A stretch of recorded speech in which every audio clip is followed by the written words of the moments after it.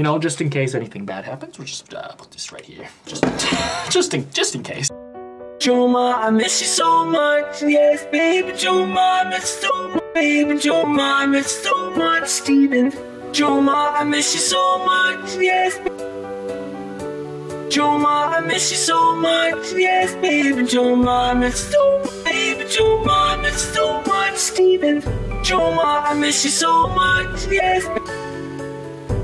Joma, I miss you so much, yes, baby. Joma, I miss you so much, baby. Joma, I miss you so much. Joma, I miss you so much, yes. Joma, I miss you so much, yes,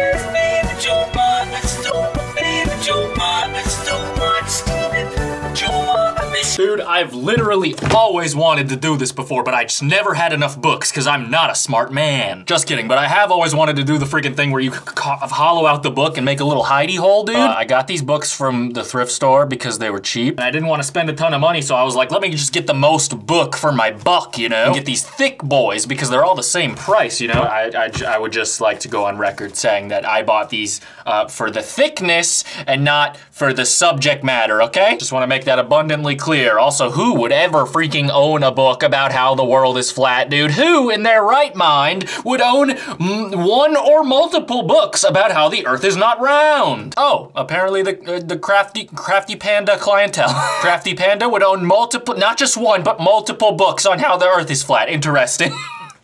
What the hell, dude? All right, so first things first, we got our freaking little glue glocky. It's warming up over here, dude. So I think we're just gonna start by gluing these books together. I think this would work a lot better if we glued, like, I think you're supposed to, like, when you make one of these, you're supposed to, like, put resin on the pages so, like, they don't just flop open.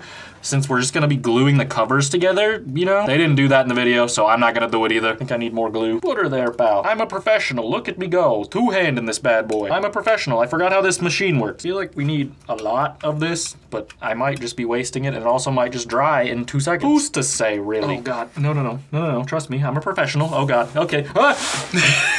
professional. Okay. All right. Uh, that looks good, right? Hopefully that stays. Don't I look like a professional right now? What the hell? Two anglers. Thank you for a wonderful stay. I thoroughly enjoyed it. Hope to be back Spelled again. a A couple words wrong there, bud, but that's interesting. Hopefully that's glued well enough because I'm just gonna continue on and glue this one next. This one I'm gonna speed run. Pump, pump, pump. Put your back into it. Put your whole glue machine body into it, baby. Yeah, there you go, there you go, there you go. Is there a faster way to make glue happen? Holy hell. you think I have all day. Uh oh, ran out. I'm a professional, don't worry. Okay, and then we'll just, uh, which way? This way, right? There you go. No one would ever discover all of my secrets that I'm gonna put in this book thing. All right, so I gave that a couple minutes to dry. Now we got our book unit relatively stuck together. I mean, it flops open all willy-nilly, but that's just failure by design. Nothing that bothers Miss Crafty Panda over here. Now we're gonna freaking cut out uh, some of these pages, I guess, and hide little things in there. What do they even hide in this video? What do you even put in there? Let's see. She's sipping her tea. Oh, she got the perkies in there, dude. I didn't know you had it in you. In, your book, anyway. No, she's just hiding little M&Ms in there. Like, why? that doesn't seem doesn't seem um vacuum sealed. You're gonna get ants in your literature. They also spray painted the books. I feel like if you were trying to hide your candy. if you're trying to hide something, it would look less conspicuous if you didn't paint it, because that makes it look like a whole thing, right? Anyways, I do as I'm told here on this fine day of our Lord and Savior. All right, let's hollow out a book. Is this even gonna be like possible? I've never tried to hollow out literature, be fair. Oh god, seems dangerous for my hands and my well-being. Nobody better find my candy in here. How deep can you go in that bad boy? There you go. That's what I like to hear myself say. I have no idea how deep these cuts are going, but hopefully deep enough. Just like my poetry. Oh god. Paper's difficult to slice. Okay, all right, okay, all right. You got this, no worries. Who's worrying? You need to take one of my secret pills I hid in that book. I mean, no, I didn't. Let feel your troubles melt away.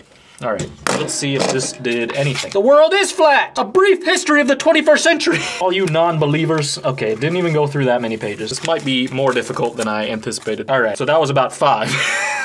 Epic. Just keep digging. What do you have to be a superhero to do this? Jesus. Superheroes don't have hidden peanut M&Ms. They would share. This is fine. Everything's fine. I won't be cutting a finger off today by accident or otherwise. Everything is gonna be fine. Everything's okay. I am a very passionate man when it comes to how round I think the world is personally. And destroying this literature gives me more satisfaction than it should. I don't agree with you in your thoughts. Should you eat paper from the thrift store in a pandemic? Why won't you die? Uh-oh, oh, that was dangerous. Always cut towards yourself. That's what I learned. Oh god, what I learned in boating school today is, oh, what did I just do? That was scary. Oh my god, this is so inefficient. The moral of the story today is Stop hiding things. we're all friends here, all right? We're making progress very slowly. Okay, that was so scary. Oh my god, why does that keep happening? Can't you lock this or something? Jesus. How's a man supposed to slice his literature in peace? Oh my god, that's not safe. I think I'm just breaking it. All right, so as you can see, we're making some progress here. We got a little bit of this uh, propaganda cut out. Trying to iron out the truth, trying to iron out the entire earth with your freaking words here, dude. Not on my watch. We could almost uh, hide our little, uh, whoops, our little glue sticks in here, dude. Freaking, uh, what a handy dandy little idea. yeah, I think I'm gonna put try to put some glue on the sides of the books so they can't just like flop open and make it more like structurally sound. Let's freaking see how that goes. A little bit here, like on the side. I need more glue. We don't, uh-oh, fuck. I was gonna say, we don't need to put a lot, just like enough to hold the book closed. And then I squirted it all over the gall dang place. Classic me, you know? This is very messy. Maybe I will paint over it just to try to cover up all the imperfections I've created. Uh, maybe I shouldn't have glued this one at the top also. Whoops, since I'm not done destroying it.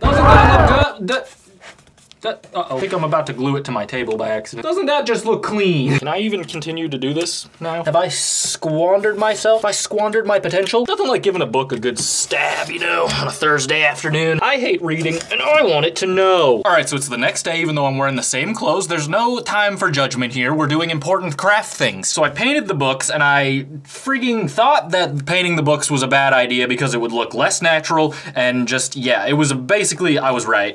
um, not only only does it look less natural, it just looks horrible, dude. Like, the paint did not stick to the books at all. And uh, worst of all, you can still read all the horrific titles that I chose for this project, which is unfortunate, dude. Because that was actually the only reason I thought it would be good to paint them because, I mean, if you're gonna have a little hidey hole uh, next to your bed or whatever at all times, I don't necessarily know that these are the books I'd want to sit out in the open at all times like they're readily available for me. Anyways, yeah, uh, yeah, the paint just didn't really stick to the books at all. The glue, it didn't get covered up. Also, the glue didn't really work on the sides to hold them closed. Basically, every step of the way, down to choosing the books, I freaking, I fumbled. I would say this is a failure. Functionality-wise, um, yeah, you got this horrific art project that you can, uh, you, you can hide your, uh, your medicine in. it technically in terms of a, a, life hack or whatever, it works. No one's gonna find them, in case you were worried.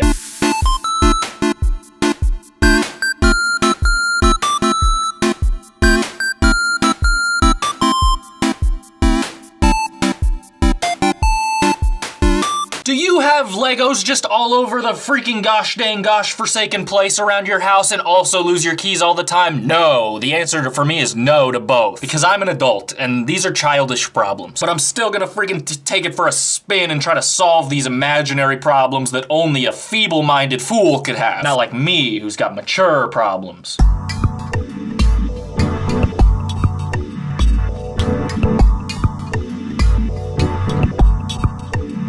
All right, I can tell when the glue gun's ready to go because it gets nice and drippy down here. and I figured I would take it upon myself to, uh, to modernize this uh, situation here because losing your keys, dude, that's some boomer nonsense. Keys are a thing of the past, dude. These freaking, these Gen Z kids, they be starting their car with Bitcoin and cleaning, they be using Apple Juice's floor cleaner. So we're gonna freaking take the key out of the equation. We're gonna use our sucking stick, our Gen Z sucking stick, you know the one. And we're gonna make it so we never uh, lose this bad boy again, okay? All right, so we're gonna take our little Lego piece here and we're just just gonna, oh, this out of here. Get your little drippies out of here, bro. There you go. Just put a little bit on there, like that. Put it on our sucking stick. Oh, dude, this is gonna be revolutionary. I fuck it. Are you kidding me?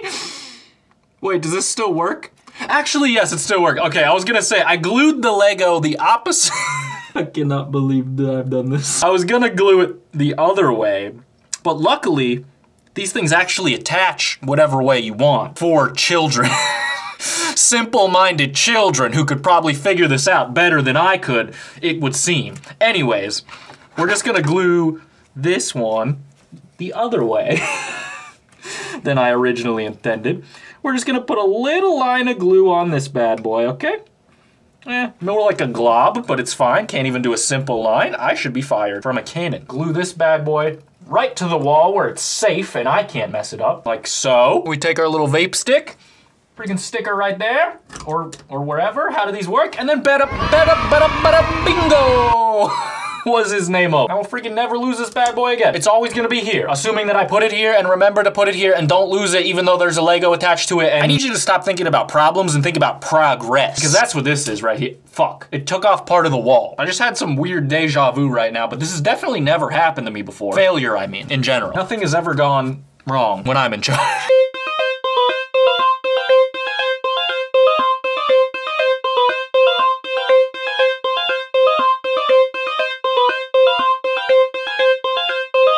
In this clip, they seem to be having some sort of domestic problem. It's just, it seems like it's more between them. I mean, he he is, he's a messy guy. He's messing up the house, dude, but I'm gonna leave them, leave that to them. I'm not getting involved.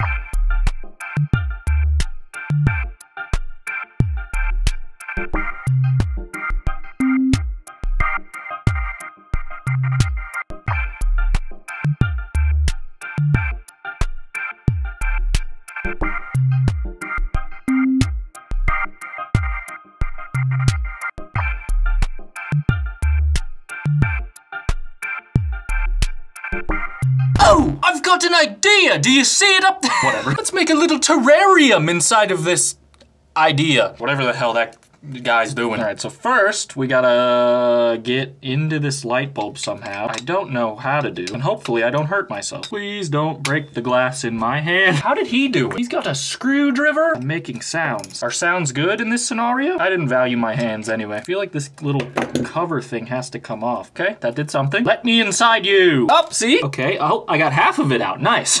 Lit. Better than nothing. Oh, this is gonna be the best little forest I've ever put inside an idea. Can you just leave the, the mechanism? Holy hell. These things are impenetrable. It's like you're not supposed to be doing this. Okay, all right. Now we have to remove the light bulb part, which should be oh, easier. Uh-oh. is all of this gonna stab me? How do you get this part out? What the fuck? Is it connected somehow? How do light bulbs work? How do ideas work? Oh God, what if I don't know? This is not what I wanted. Can you just, I'm trying. Okay, well, I think all of this is just gonna, this is not safe. Not all ideas can be good ideas. How the hell do you disconnect? I'm a professional. Okay, well, it's loose now, I think. Dude, this is like making a boat in a bottle, dude. This is impossible. What are you connected to? What are you waiting for, huh? What are you, what am I pulling on right now? I don't even know. You're telling me a panda can do all this? All right, here we go. We got him on the run now, boys. This is like what it sounds like when I have an idea in my head, too. There's just one piece that's too big to come out. Are you kidding me? All right, well that might just have to stay in there. okay, so our next move, I think, is to, oh, uh-oh. to not stab myself, so far so good, and get some, of, I'm just gonna borrow some of this dirt from this here plant, you know, put her there, pal. This'll be fine, you don't need all this. You see, you would think, like, because the word crafting, you know, when I do these craft videos, you might think that there's gonna be a lot of creation going on, but really, it feels like it's mostly destruction. Just something I'm thinking about right now. Oh man, this kind of has me wondering, when's someone gonna hollow me out and fill me with dirt? How much dirt do we need? I mean, like, I know plants are living things, but they're still things as far as I'm concerned, and even though they're alive, they're smaller than me, which means I'm in charge. All right, I think this is enough soil for whatever the hell we're doing. I mean, that looks pretty good, right? A little, uh, okay, so we got our little Dirt Boy idea base, and then I have this little fella here. Like I said, very much alive, still a thing though, and I'm in charge because bigger. I'd put my son in a light bulb if he looked at me wrong. I don't know if I believe that. But anyway, I think I mean, you could, little guy, you don't mind if I just like take one of these little leaves you got here. Maybe this one in the back. No one will even know. I don't even know if this is a real plant, to my knowledge. I mean, do I look like a freaking botanist? No. Do I look like an opportunist? Hopefully, because look at me, I'm building a... I put it in upside down. That looks kind of stupid. Okay, well, I mean, look at theirs and then look at mine. Like, wh- who's ri- whose is looking better here? this is. Listen, if this isn't mission accomplished, look at this thing, dude. I mean, look, it's not the prettiest thing in the world, but you got to admit, my little plant guy, he's look looking pretty small and vulnerable in there, all encased in glass. You know, if he gets unhappy in there, he could have one of these little mood stabilizers there. See, freaking looks like a little paradise in there, dude. And if you had like a a tiny little guy, you could put him in there and just like watch him be encased in there, see through, do whatever you want to him if he was stuck in there.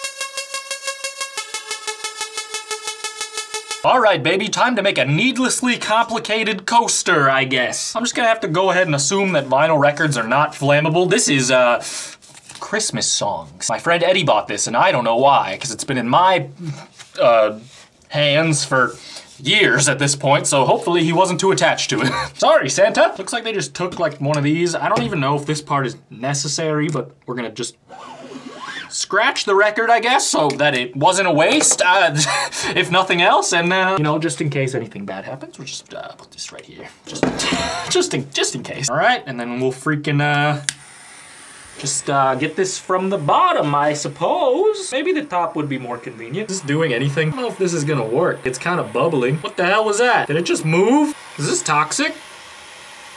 Oh, there we go. If I bend it, it's working. Just gotta apply a little pressure. Dude, I'm like Salvador Dali, except pointless and stupid.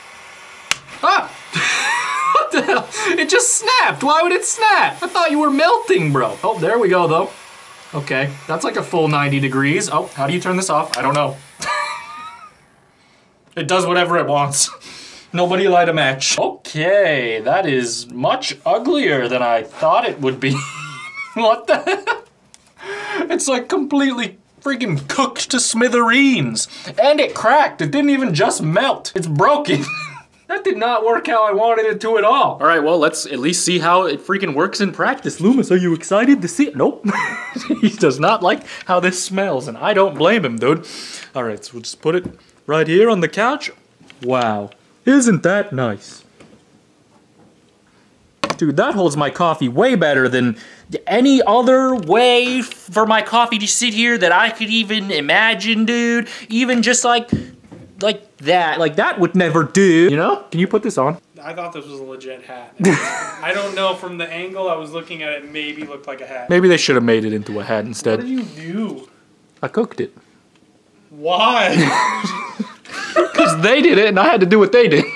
Who's they? Crafty Panda. Stop watching YouTube.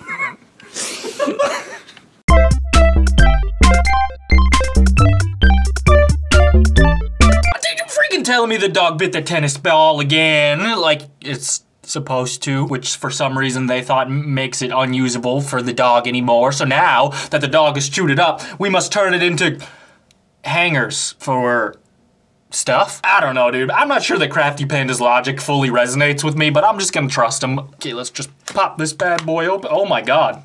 You didn't tell me tennis balls were soda pop? What the? Is this normal stuff that people know happens?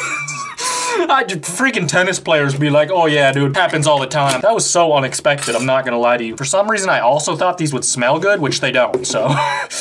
Apparently, I don't know anything about tennis. What I don't know also is why the hell we're making hangers out of tennis balls, but whatever. Is this gonna pop and explode on me too? Okay, apparently it's indestructible. My bad. Didn't know that either. I should really do some research before I start filming, I guess. Okay, don't cut my hand. I'll be angry. I don't wanna go to the doctor today. Okay, just gonna make a a fine slit. Not a great one, just a fine slit right here. I mean, honestly, this might be big enough. I mean, I don't really know what our goal is, but you're just gonna Put your freaking screwdriver in there. Sick, dude. What the hell?